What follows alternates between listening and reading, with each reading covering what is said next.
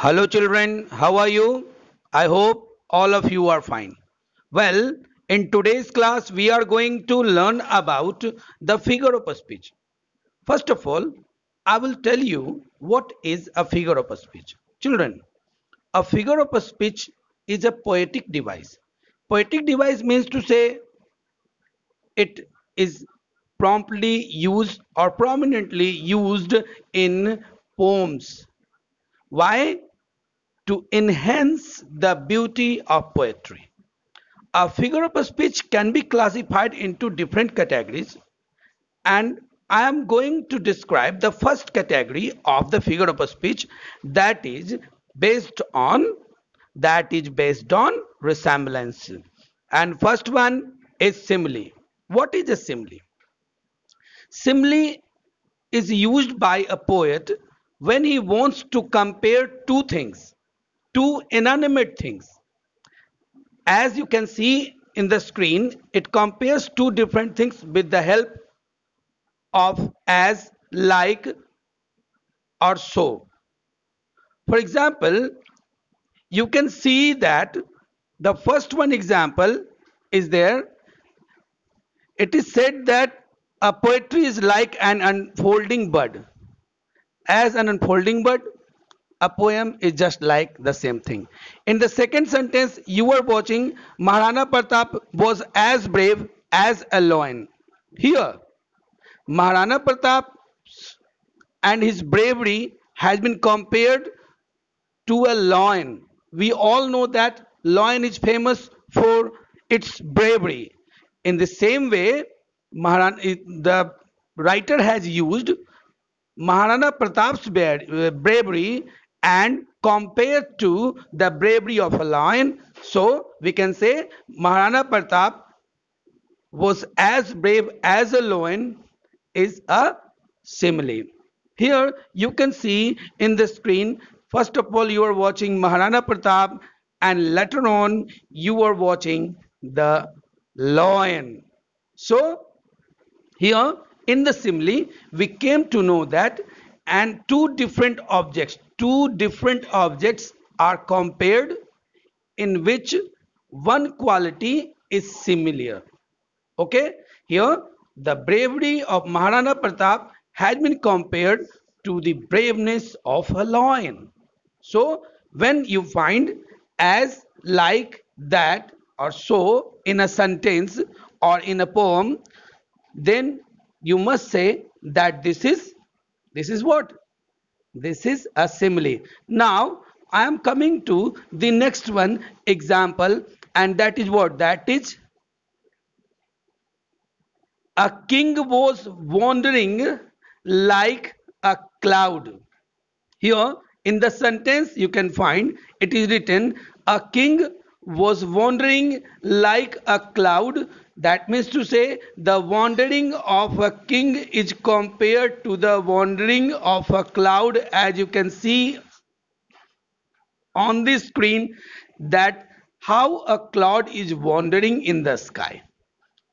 In the same way the poet here used the wandering of a king from a cloud so it is a simile.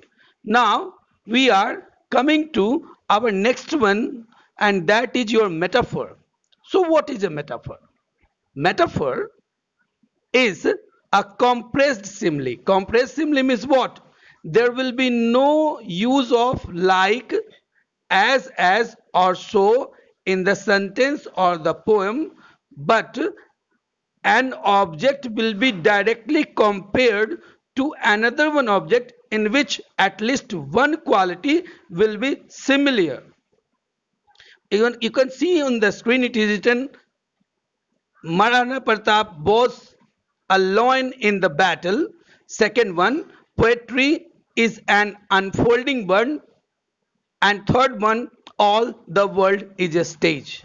As you can see, poetry is an unfolding bud you can see in the screen a poetry is there in which Saraswati Vandana is written. For the first time when you are going to read it you are unable to understand in the first glance or in the first time what a poem is. But gradually, when you will read it again, again, and again, you will come to know its real beauty. In the same way, when you see a flower in the first day as a bud, you are unable to understand its glorious beauty. So, poetry is an unfolding bud. Here, a poem has been directly compared to an unfolding bud without using as, like, or so.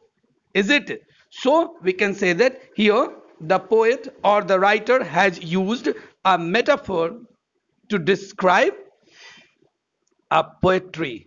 Okay? Here you can see in your screen very clearly a poem has been compared to a to an unfolding bud.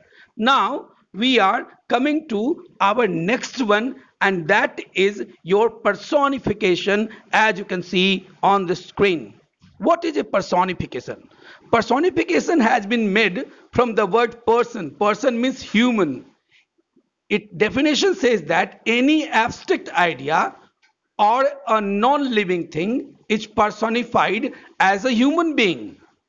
Example, the first one, opportunity knocks at the door but once.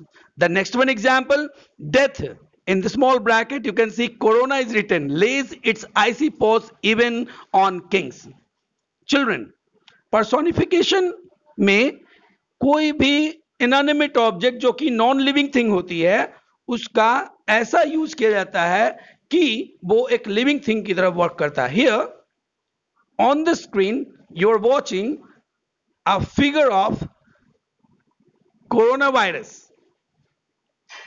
we are already aware that corona virus has left nobody when we talk about poor let them be poor even the kings queens princes, and the great hero of our country, India, Amitabh Bachchan.